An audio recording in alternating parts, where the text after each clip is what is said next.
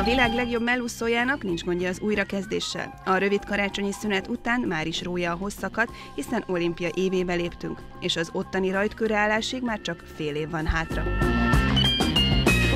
Azért fél év azért sok idő, tehát én, én úgy állok ez az egészhez hozzá, hogy még fél év a hátra, és azért annyi idő alatt bőven lehet rengeteget javulni, és rengeteget hozzátenni a felkészüléshez.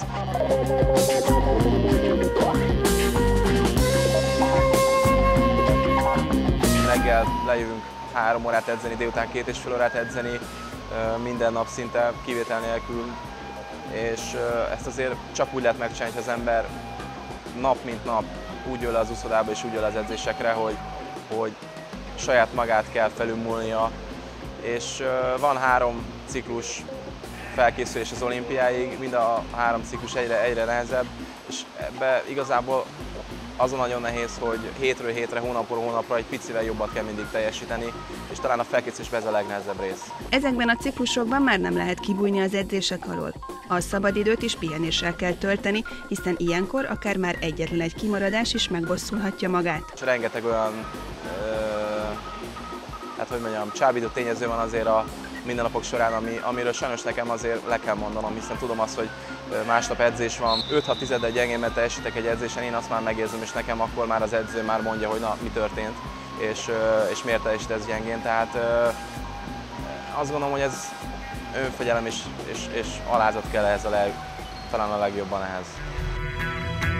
Dani felkészülését semmilyen modern technikai felszerelés nem segíti. Nem úgy, ahogyan a külföldi ellenfelekét. Nekem is mindig szokták mondani különböző edzők és versenyzők, menjünk ki Amerikába és másoljuk, nézzük meg, hogy ők hogy csinálják, menjünk ki Japánba, nézzük meg, hogy csinálják, és erre mindig azt szoktam hogy nem, ők jöjjenek ide, és nézzék meg azt, hogy ilyen úszodában tényleg, ilyen körülmények között, ilyen háttérrel fel tudjuk venni a velük a versenyt, sőt nem csak, hogy fel tudjuk venni velük a versenyt, hanem sokszor még le is tudjuk őket győzni. A munkába vetett hitnek pedig már évek óta megvan az eredménye, ám ez nem volt mindig így. Az aténi olimpiai ezüstérem után a mai napig megmagyarázhatatlan okok következtében Dani mélyrepülésbe kezdett. Ekkor szinte már csak egy ember hitt benne.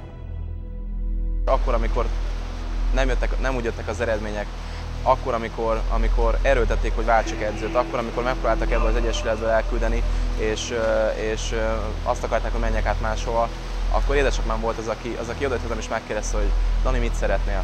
Én elmondtam neki, hogy apa, én szeretnék maradni a mostani edzőnél ugyanígy, ahogy, ahogy, ahogy most vagyok, és, és, és higgy nekem, hogy, hogy, hogy előbb-utóbb vissza fog térni, ő ezt elfogadta, és, és nagyon-nagyon nehéz volt, tényleg nagyon sokat telefonált, nagyon sokat jött-ment és küldött értem, de sikerült, és aztán pedig jöttek az eredmények, és, a, és, és az eredmények ismét minket igazoltak, hogy ez így volt jó.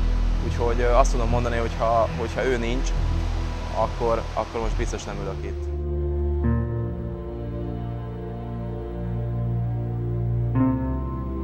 Bármikor, amikor erre gondolok, akkor, akkor, akkor azért oda kell menni, és meg kell neki köszönni, mert azért édesapám, édesanyám azért mind, minden, minden reggel négykor kelnek, hogy 5 órakor ott legyen nekünk a reggeli az öcsémmel, és tudjunk jönni edzésre, hogy még azt a 10 perccel is tovább tudjunk aludni, és többet tudjunk pihenni, hiszen azért azok a 10 percek összeadódnak, és az, az egy év során az, az rengeteg plusz pihenőt jelent, még hogyha most ez egy kicsit uh, közhelyes mondatnak is tűnik, de ez akkor is így van. Úgyhogy uh, Úgyhogy tényleg azt tudom mondani, hogy az a segítség, amit tőlük kapunk, én és a testvérem, az, az anélkül szerintem nem menne. Dani pedig bizonyított, nem csak magának, hanem mindenki másnak is. Először Rómában, majd tavaly már másodízben léphetett fel a világ tetejére, maga mögé utasítva nagy riválisát, Kita Jimát. Tehát én azt éreztem a 150-nél, úgy fordultam meg, hogy nem tudom, hogy mi lesz a végén, mert, mert, mert, mert már ott már nagyon erős volt az iram. És aztán azt éreztem, hogy kezdett fáradni, láttam, hogy picit kezdett lassulni, és igazából ez adott nekem egy nagy erőt, hogy, hogy, hogy akkor, akkor itt most van esély, és igazából 25 méterrel a vége előtt éreztem azt, hogy, azt, hogy meg lehet. Gyerünk, Dani, gyerünk, a japán fáradni látszik, Gyurta Dani jön előre, csapásról csapásra, centiről centire, Gyurta Dani, meg fogja verni Kitajimán, gyerünk Danikám, igen, igen, igen! Gyurta Dániel világbajnok! De valahogy minden összeáll, az Isten mindent jól csinál,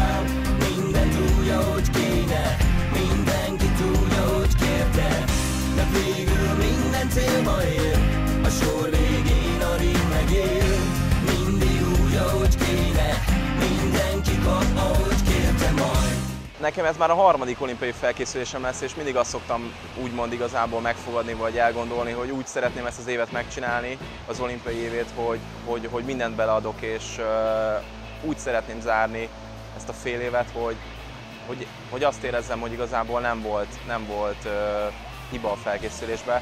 Ez Atén évében sikerült, úgy gondolom Peking évében is sikerült, úgyhogy bízom benne, hogy uh, idén is így lesz.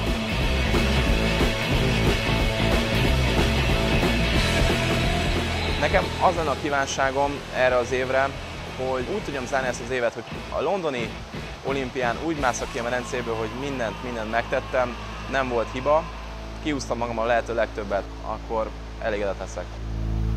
De természetesen nem ez a célom.